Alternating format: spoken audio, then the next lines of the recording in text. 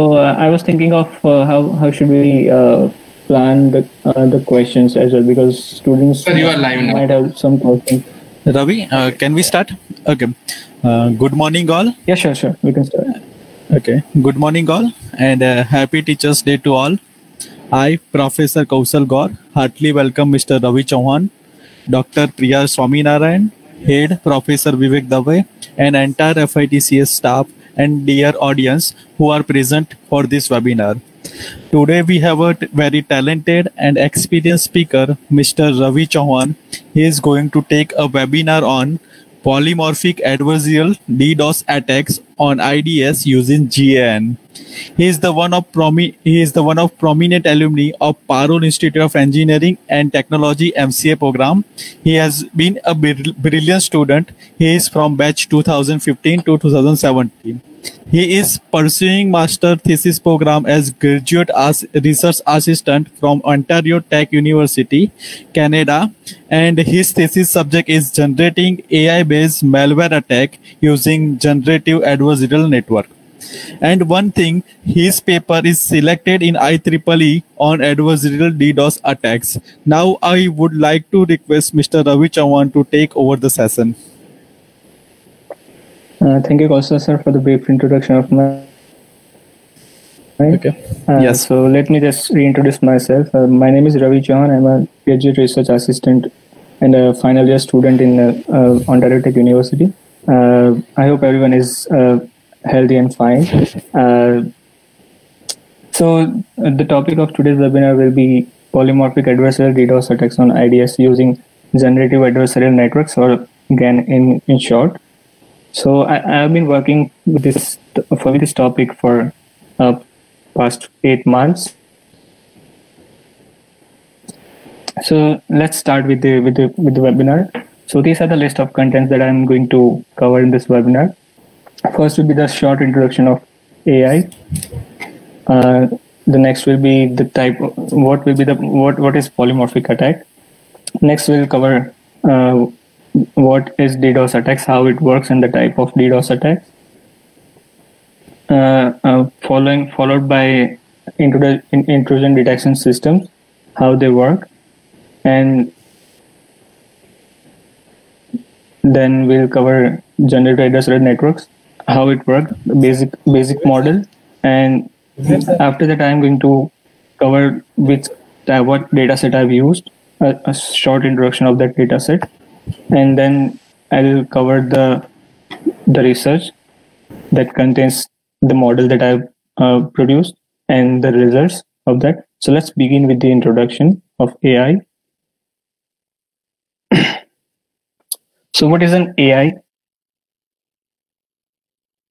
or artificial intelligence? It, it's it's a technique that simulate human-like intelligence in machine that automates and perform some desired tasks.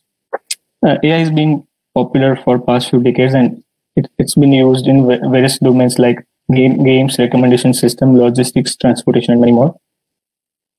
A machine equipped with uh, artificial intelligence using uses uh, various data sets uh, specific to certain domains and that performs uh, accordingly. Next will be the there are two important types of AI. First will be the narrow or weak AI, and the general or strong AI. The AI that we are seeing in the in the recent recent in recent time is basically a narrow or weak AI that's basically assigned to the specific task or that performs a specific tasks. Whereas general or strong AI is a is a kind of AI that is not still and still in, uh, used or developed. It's, basically a theory that a machine learning is equivalent to a human intelligence that can uh, reason, solve puzzles, make judgments, plan, learn, and communicate. So, as as I mentioned here, these kind of the name of different AI that were shown in various movies like Jarvis and, and Edith. These AIs basically just perform like normal human mind. Next, let's see what polymorphic attacks are. So the polymorphic attack are type of attack that constantly constantly changes their uh, features so that they can bypass the detect detection systems. Many of the common forms of polymorphic attacks are known as are viruses, worms, trojans, and keyloggers. Polymorphic techniques involve frequently changing identifiable, identifiable characteristics like their file names, the type of en encryption they use, so that they can um, evade the malware malware detection systems. Um, basically, polymorphic polymorphism is used to evade pattern matching detection, which relied by security solutions like antivirus systems.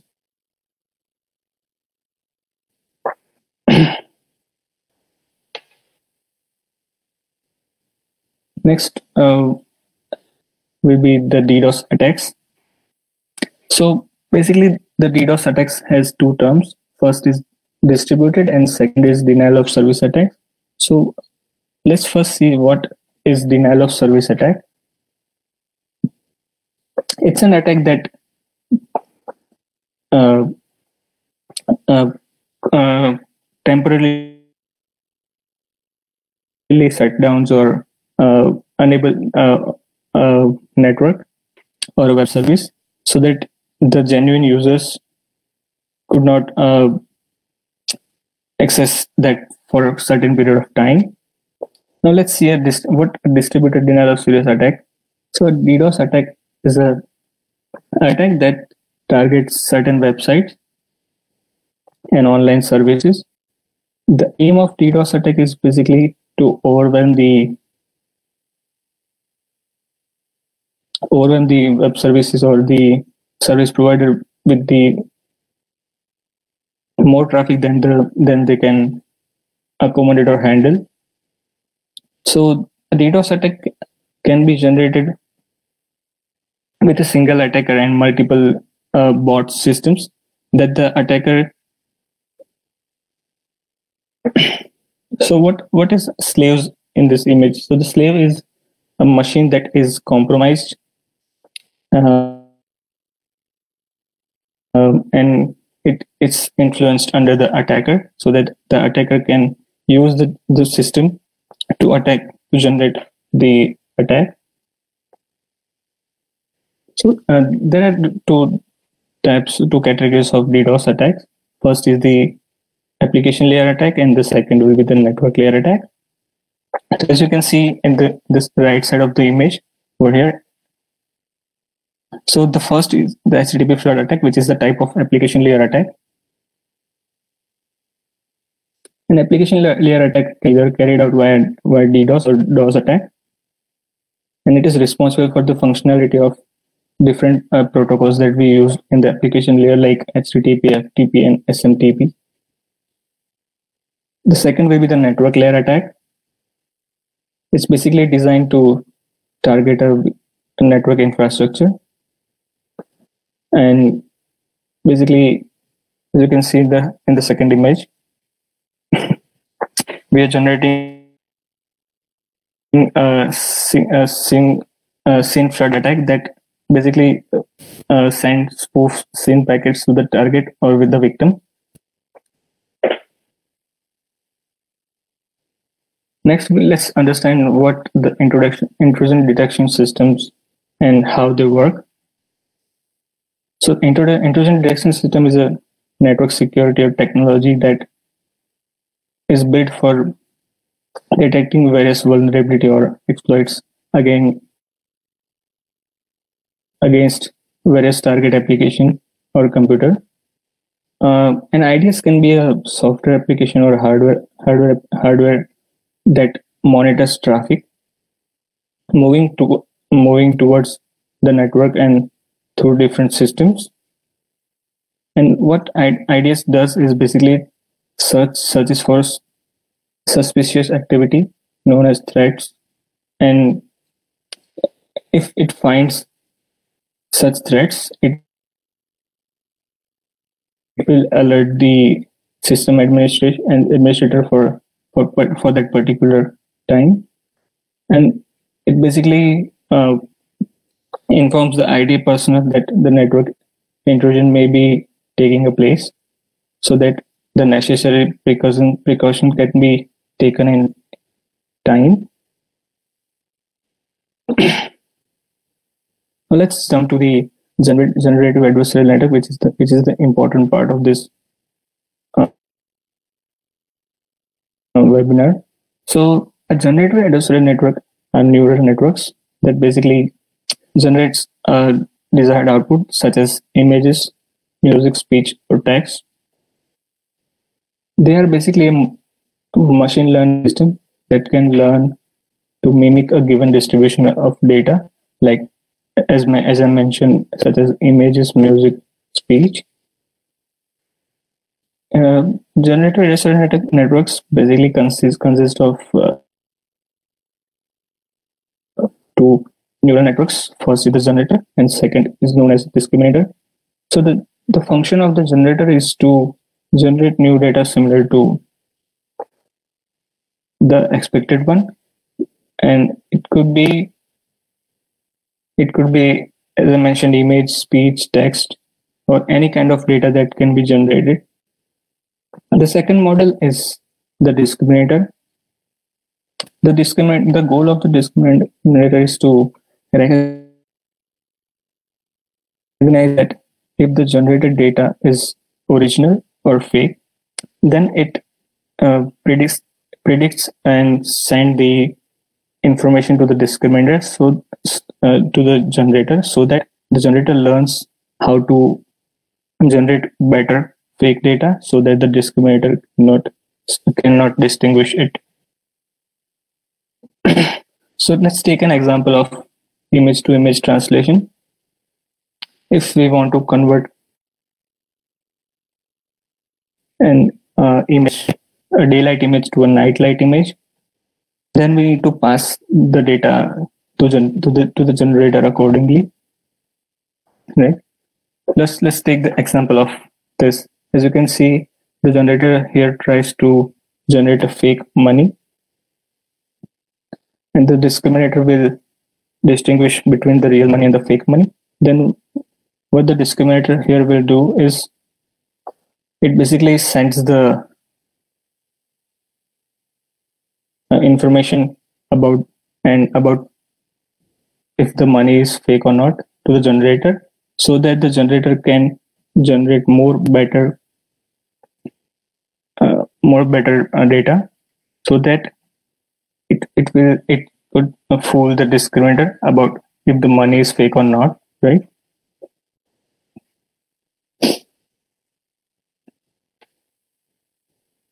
and finally what will happen is the discriminator will not spot if the money is fake or not, right? So here are the, some of the applications of generative adversarial networks, like image generation, text to image synthesis, face aging, image to image translation, uh, video synthesis, uh, and high resolution or HD image generation, so if we if we take an example of image generation, generative adversarial networks can be used to generate realistic image uh, from the sample images. For example, if we want to generate new dogs of new images of dogs, then we need to train the uh, generative adversarial network with the with the sample of images that consist of dogs uh, in, in text to image synthesis, we need to gen, uh, we, uh, the generating image from the text description. So text to image synthesis can be useful in the in the industry in, in the film industry as the generative adversarial network is capable of generating new data based on some text text input. Uh, let's take an example of face aging as we can see there are some applications available in the in the play store and app store that can uh, show us how how will how will uh, the age will affect on our face. So the so the image to image translation, video synthesis, and HD image resolution will function as the same.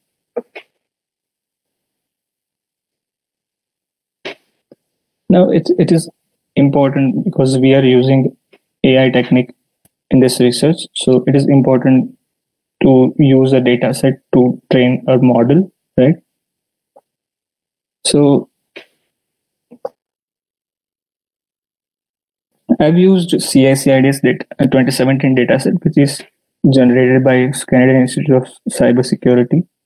They have developed this dataset using 25 20 uh, using a behavior of 25 uh, users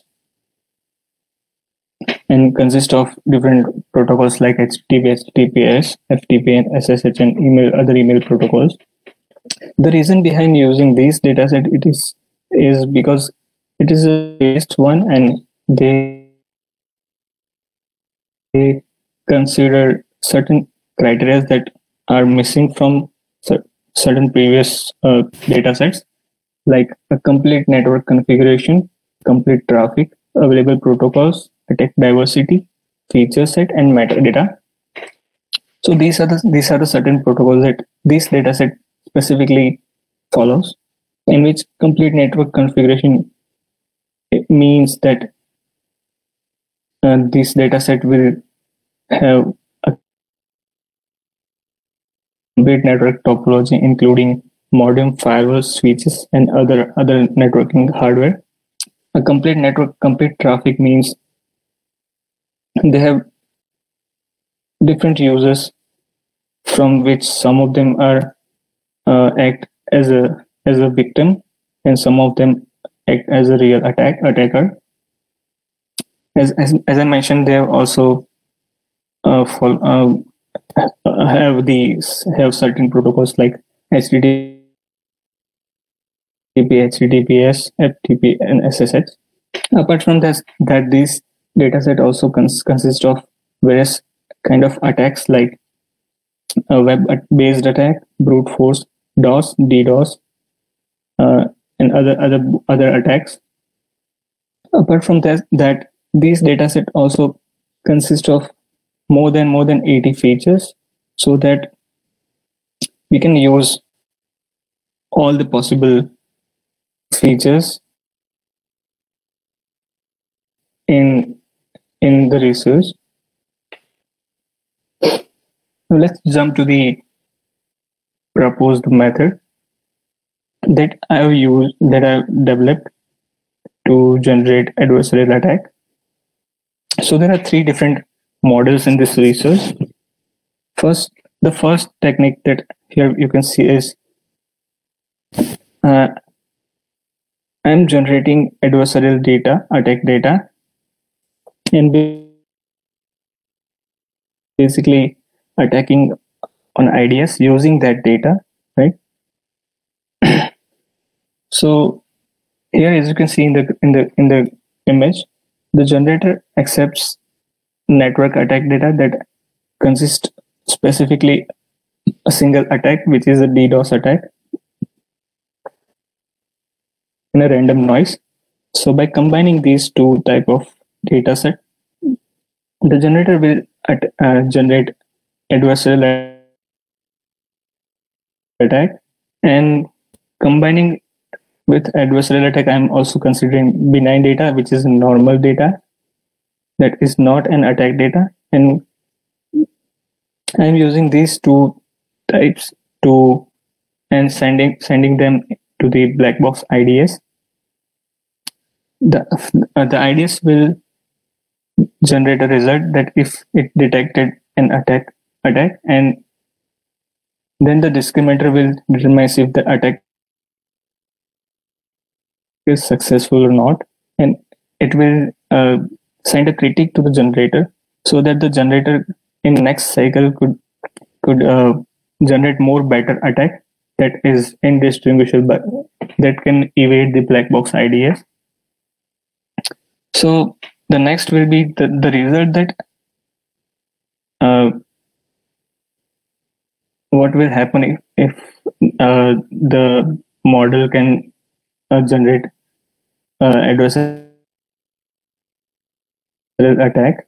So as you can see in the graph, at the beginning, the generate the generator is not able to evade the IDS because it's started its training and initially all the attacks was detected detected by the IDS. As, as I mentioned here, the discriminator will provide a critique to the generator so that it can generate better attacks. As you can see here, the generator is learning from the discriminator and at the end of 100 epochs, as you can see here, the generator successfully generated adversarial attacks that the that the IDS couldn't evade. So after the this result, we can we can say that generator generated DDoS attacks that that could evade the IDS. Now the next next here, as you can see in the graph, I have considered uh, training the IDS with the previously generated adversarial attack so that it can detect all the the adversarial attack that were generated in the previous cycle.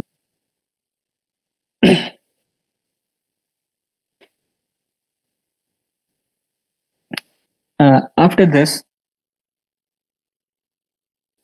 uh, um, the, as you can see, the title of this research is polymorphic adversarial attack. So after this model, once the IDS learns about the polymorphic attack and uh, about the adversarial attack, I've tried uh, to generate a polymorphic attack, and for that, I've uh, updated the feature profile of the previously generated attack using reinforcement learning. So what what is the function of reinforcement learning is it basically learns by trial and error, error method and keeps improving uh, according to the function it was designed to. So in this case, I've designed the reinforcement learning that learns from the that learns from the discriminator and generates more better polymorphic attack by changing their signatures so as you can see in this, this graph, uh, as you can see in this graph, the green the green circle here is suggesting that this is the reinforcement learning engine basically which changes the attack profile and tries to generate uh, generate tries to generate polymorphic attacks so that it it can evade the black box IDS.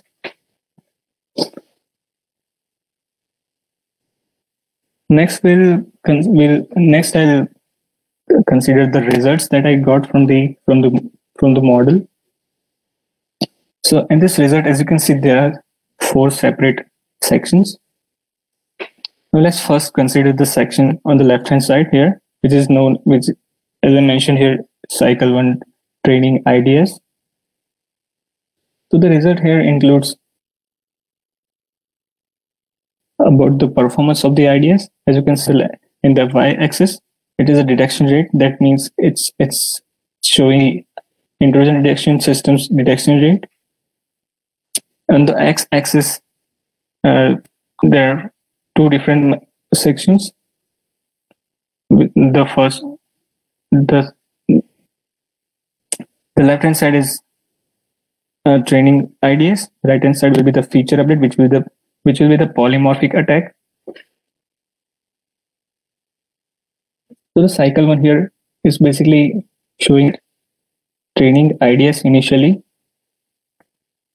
After training IDS, it detects all the adversarial attack as you can see here it goes up to Uh, 100%. So that that means after generating the adversarial attack and training it and train the IDS with all the previous attacks, the IDS could detect all the adversarial attack.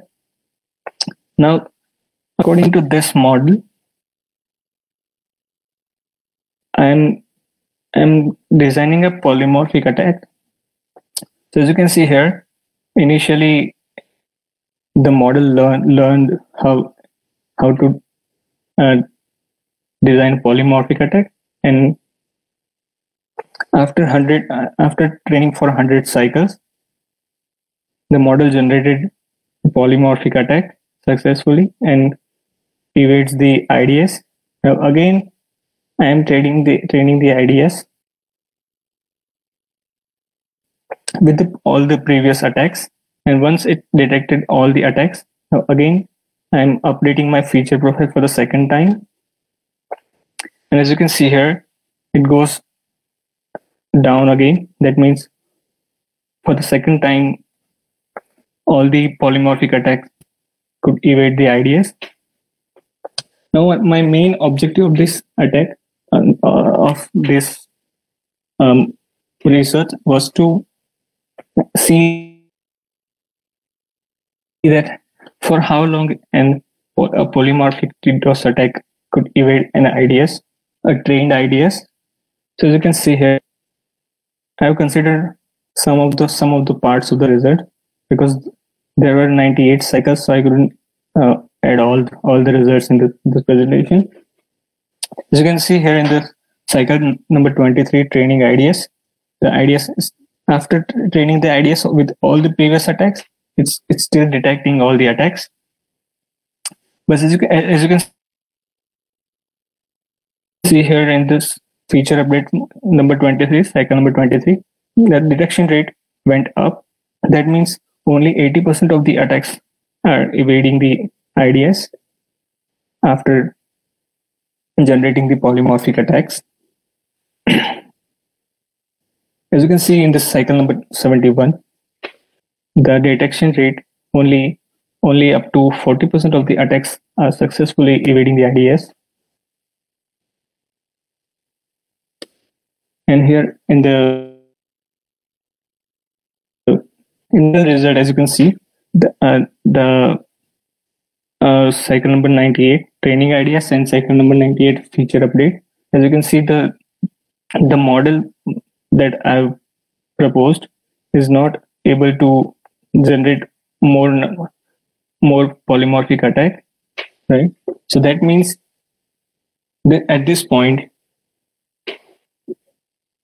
all the all the attack are going to be detected by, by IDS and the model cannot generate more polymorphic attacks. So from the result, I can confirm that the proposed model can generate significant polymorphic attack up to 90 cycles and it, it's becoming weakened in the generating new version of attacks. So from this result, we can see that we can say that the attacks are weakening um, as as we move uh, move forward, but uh, but still they are significant attacks because if a, a large service, provider like Google or YouTube gets 40% of attacks, it, they can they can still these kind of attacks still can still damage the the number of users right? Now the main question that i get from from my colleague is that why, gen- why generating why to why generate ai based attacks so my answer would be we need to uh, constantly test the detection system with newer version of attacks. And the generative adversarial networks is the best uh, tool that can generate new version of attacks so that we can be uh, prepared for the for the future kind of attacks. and we can analyze the performance of the IDS and also we can uh, design design some new ideas for the future detection system. So here I'm ending this. I mean, I think we've uh, gone too fast, but uh, if, if we have any questions, if anyone wants to add something on that, I'm open to open to suggestion.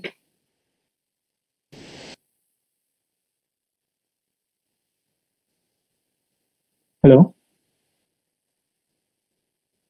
Yes, Ravi, it's done. Yeah. Uh, yes, I think it's done. Can we can we cover some of the questions? If we, if we can get some questions from any of Okay, yes, uh, Ravi. Uh, any of the available committee or the students. yes, Ravi. Uh, we have some questions uh, from uh, Vivek sir um, as well as from our students. Okay, uh, the first question is that uh, I I haven't numbered the slides. No, no, that uh, numbered slides. So send me the questions. I just uh, um, uh, just speak the question and uh, please tell me the answer. Okay. Yes. Uh, okay. The uh, first question that uh, can you explain the difference between monomorphic and uh, polymorphic DDoS attacks? polymorphic attack and Monomorphic. uh, monomorphic and polymorphic, right? Yes. The difference. So I think the term, as, as the term basically suggests, mono means we are considering only single kind of attack that that cannot change their signatures uh, once it once it, it gets detected. Then it's done. There is no new version of that attack. Whereas if we are considering polymorphic attack, that means we are constantly changing the profile of the attacks. Uh, once the it, the attacks get gets detected, then again we can we can change the uh, profile of that particular attack so that in the next cycle it it gets undetected. As as I sh- show as I mentioned my results over here, as you can see here, I'm generating attack Yes. and which is detected by the IDS. So in the next cycle, I am updating the feature profile and the detection rate goes down. Again, I'm training the IDS so that IDS detects all the attacks. And again, I'm training training the model so that uh, and updating the feature profile so that the, the detection goes down like that. Okay. Uh, thank you, Ravi. Uh, the next question that is from one student that is Will GAN also be useful in other cyber attacks? Uh, yes, there are some research researches, research papers uh, already available on the on the internet. they can search uh, basically basically the uh, attacks that they are developing using generative adversarial network are Android Android attacks. So I think there are various kind of attacks that we can we can generate from adversarial network. But I'm I'm cu- currently on the inner network security, so I'm basically considering only the network attacks. Okay. Uh, uh, thank you, Ravi. Uh, the next Yeah. question from the faculty side uh, that how intrusion detection system and intrusion prevention system are different, uh, how they are different with each other, and which one is the better, IDS and IPS? So, yes. Uh, so the simple answer would be the IDS only detects if something is going wrong with the network, whereas the intrusion prevention system are basically a, kind of a software or software that basically prevents prevents the attack. So we can say that we uh, ideally we can we need, we need to use both of them because without detecting the attack we cannot prevent the attack, right? So uh, as you can see in the diagram that I mentioned uh, over here, here we, I've, I've mentioned only the IDS. Okay. Yes, right. So what this will do is only it will only detect the attack and it will uh, tell the ID uh, the administrator that the attack attack is going on.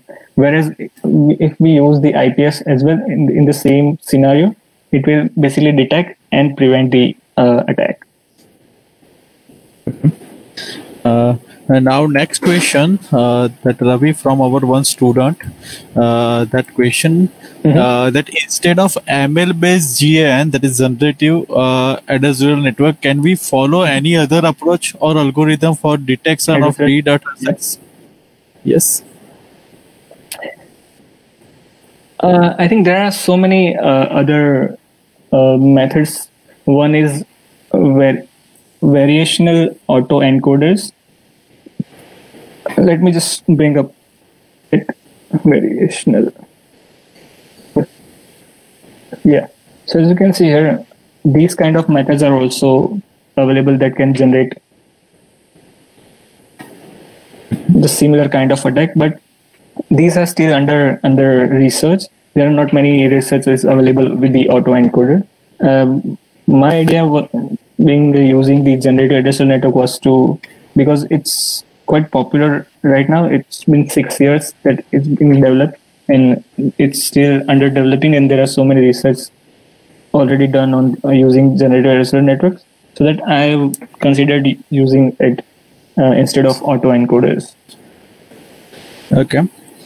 Uh, that uh, Ravi, the next question uh, that if IDS itself is attacked, then what can be the other attack prevents preventive methods are there?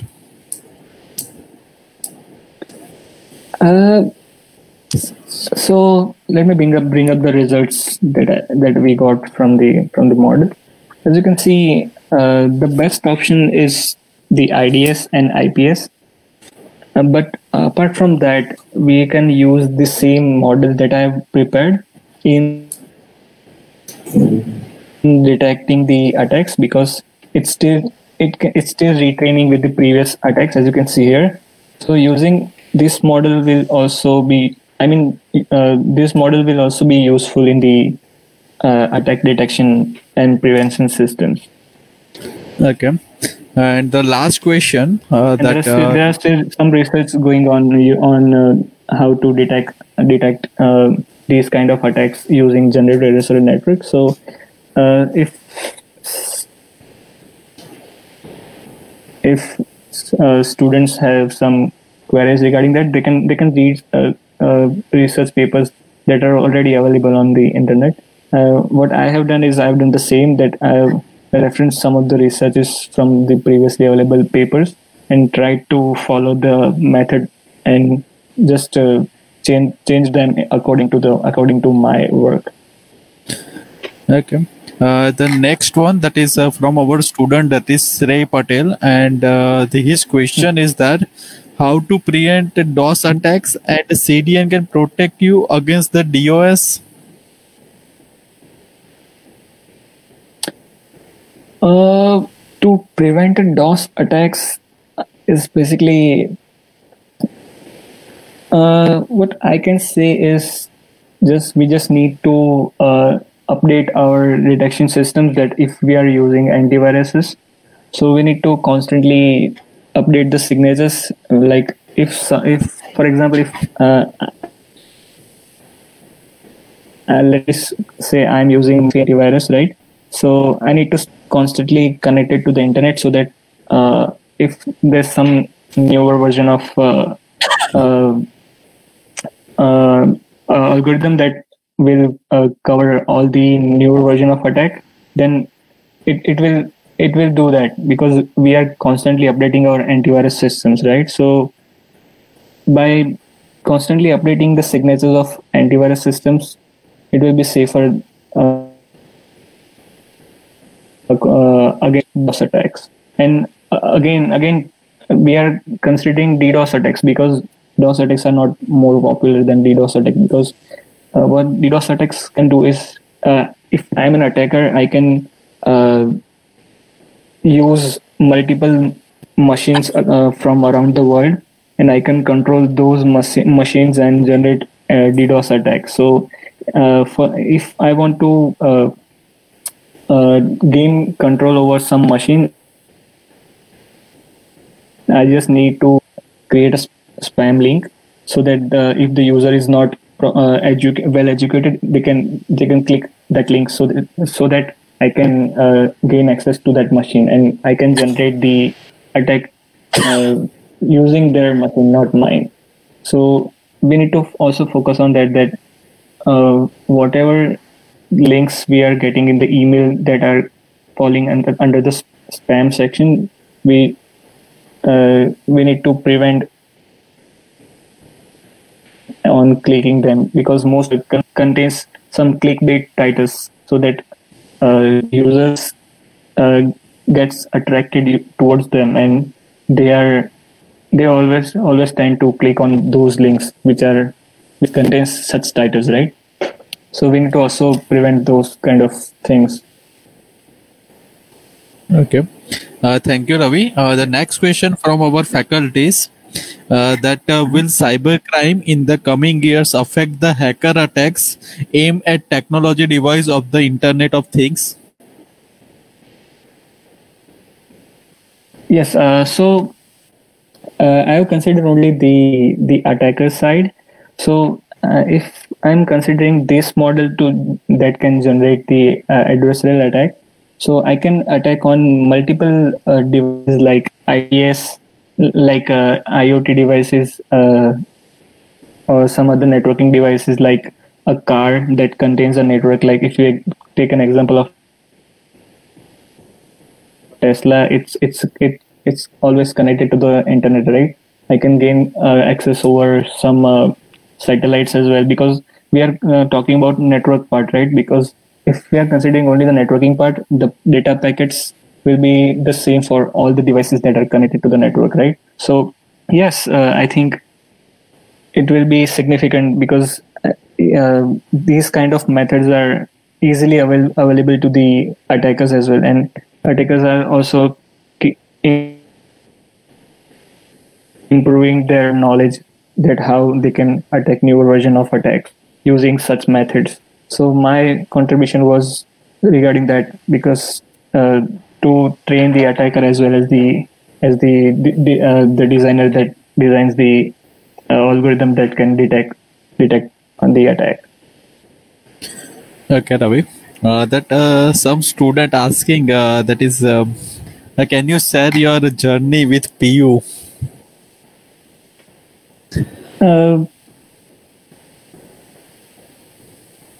I spent five years in uh, Parul. Started started with bachelor's. I wasn't sure what will I do after my bachelor's, but uh, I, I was always wanted to gain more knowledge in uh, IT sector, and there are so many things I wanted to learn. So I considered doing masters with the same university because it, it was the campus was familiar to me and all the faculties was known though so i chose to do my masters in that and yeah it was a great journey i had a great faculties and uh, and also good colleagues that i can share my knowledge with and i can gain i, I got so many I learned so many things from faculties as well as my colleagues. Uh, doing masters is not, I mean, it's that's not it. I struggled a lot. Uh, the first job that I got was easy, but after that, I spent so many so many time so much time in giving almost uh, over 25 interviews. And after that after spending one year in doing uh, working as a software junior software engineer i wanted i still wanted to go in the cybersecurity part. So i pursued that and came here in canada to learn more. And i'm still learning. Okay. Uh, thank you, Ravi. And uh, one more questions coming from the student side uh, that uh, cyber security is so advanced then also how the hackers were able to hack the account of one of the most important person of india our prime minister that what we can do or what is your opinion about this Uh, Yes, uh, the main thing is uh, there are so many aspects in cybersecurity because he's he's the prime minister of India. So, so there are so many things that are known to attackers, right? Because there's a term that uh, I can share it with, which is uh, uh, social engineering, which is an important uh, term in hacking hacking part. Let me just bring it that on my screen.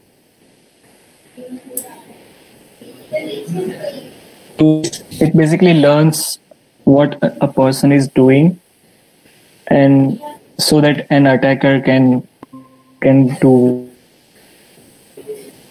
whatever they want with the user, right? And so they are popular persons, right? So their social media handles, uh, maybe their email accounts are pub- that are available to a public, right? So an attacker is a part of public, so they can do simple kind of uh, ge- they can generate simple uh, spam links that can be and these kind of people they they they, they don't use their social media by themselves.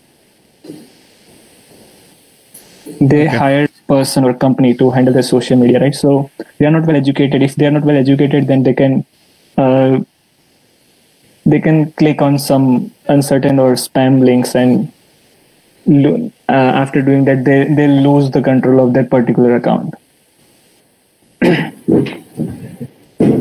Okay, uh, Ravi, thank you so much. Uh, uh, that's from our side. Uh, thank you very much, Ravi, for delivering such an informative webinar to our audience. And uh, hope your webinar and uh, your knowledge. share my contact info if Yes. these are my contact information if uh, Yes. someone wants to get in touch they can um, just keep a note and if do do we need to uh, share this uh, presentation with the students or is it's okay Uh, No, no, no. The, the your presentation is available on FB. Okay, so that is no worry. Uh, okay okay sure Okay, uh, that uh, I hope that your knowledge encourages the students to are pursue any, the. are there any more questions No, no, no, no, Ravi. okay Okay, thank you so much, Ravi. And uh, your knowledge encourage our students to pursue their their research in in uh, cyber security. Okay. Yes, so Uh, my, my main motive uh, for selecting this topic is basically basically that uh, we don't need to be master in cybersecurity. Just we just need to be aware. How can we? How can we? Uh, our friend teach teach uh, others that how can we prevent these kind of attacks? Uh, if we will achieve these, then the cybersecurity I mean the the contribution that we'll give to the to the society will be helpful to others. That's what I, that's what I think. And I'm still I'm still learning and I'm also pursuing some uh, regarding some certifications that can be helpful to me in in the industry. Okay, that's nice, Ravi. Okay, can you uh, stop sharing so, so I can share the feedback link to the students? Yes, sure, sure, sure. Yeah, here we go. Uh, dear students and audience, uh, here I am sharing the feedback link. Please note this uh, feedback link and uh, submit your feedback uh, uh, before 5 p.m. today, and uh, you will get your e-certificate on your registered email ID. Okay, so that is the feedback link.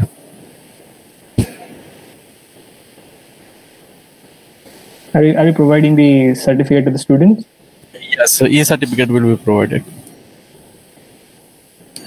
Okay. Uh, uh, thank you so much, Ravi. Uh, can we leave? Previously, yeah, uh, yes, sure, sure. I just wanted to wrap up this uh,